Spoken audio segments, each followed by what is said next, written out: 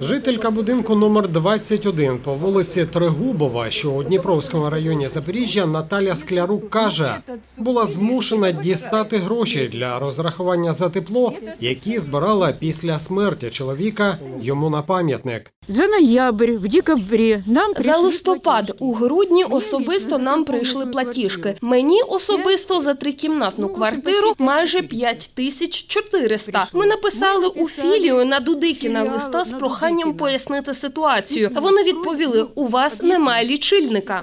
За словами Наталі Склярук, лічильник тепла у будинку, де вона мешкає, був встановлений у 2018 році. За два роки його зняли, начебто, через несправність, і з того часу не повернули.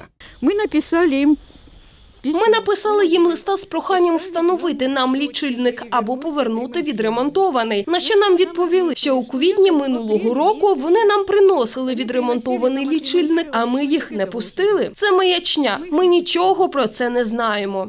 Схожа ситуація із теплолічильником і у жителів будинку номер 19 на вулиці Вавілова, каже Юрій Володимирович. Чоловік розповідає, за два останні місяці заборгував за теплопостачання 8 тисяч гривень. У мене двокімнатна квартира, у кого трикімнатна, тим і там і 10 тисяч, і, і, і я не знаю. І жінка каже, я не, я не можу, я краще, вибачте, те, піду там, я не знаю, чи орендувати буду квартиру, чи цю продавати, я не знаю. Але я не можу платити. І так і всі, всі кажуть. Юрій Володимирович розповідає, у їхньому будинку також раніше був встановлений лічильник тепла, але його зняли для перевірки та не повернули через нібито колективну відмову жителів будинку 19 на вулиці Вавілова. Ми усі були у шоці. Оскільки після цього ми, е, у нас є ініціативний комітет е, від нашого будинку, оці люди безпосередньо ходили по квартирах, е, запитували у мешканців.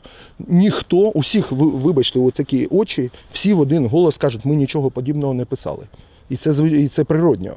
Е, Я, я не розумію, як можна відмовитись від встановлення теплового лічильника, а потім платити величезні суми. І не ми не одні такі. Вже ми спілкувалися з мешканцями там по Адміралтейській, теж ну, вже ми спілкуємося. І одна і та сама історія. Нема лічильника, все будете платити. А як таке сталося, нас це не цікавить. У будинку номер 7 на вулиці Адміралтейській теплолічильник встановили 24 січня поточного року. Про це Суспільному повідомила жителька цього будинку Анжела Литвяк. Вона розповідає, за опалення одного квадратного метру оселі у грудні отримала 101 гривню. І це вилилось суми по 8 тисяч, у людей по 15 тисяч і вже навіть до 20 в деяких е, помешканнях виходить.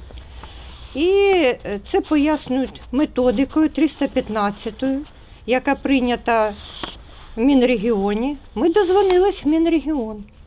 І там нам пояснили, що ця методика рекомендована, що рахувати навантаження по максимуму на тих будинках, де нема лічильників. Цю методику застосували і нарахували нам вдвічі більше гігакалорій.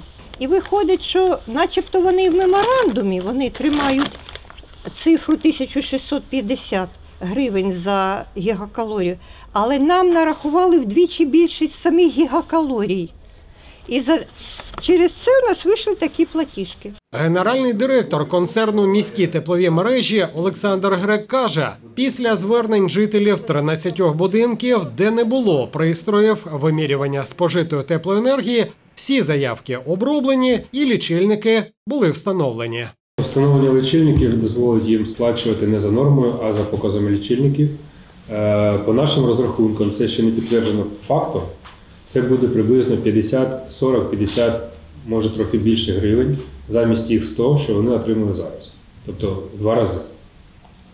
Е, Ті нарахування, що зараз відбулись, вони не сплачені, вони є боргом, але через дію карантинних обмежень ми не будемо нараховувати жодних штрафів і пеній на ці суми. В багатьох цих будинках встановлені лічильники. Надалі ми і е, проводимо аналіз нарахувань по субсидіям.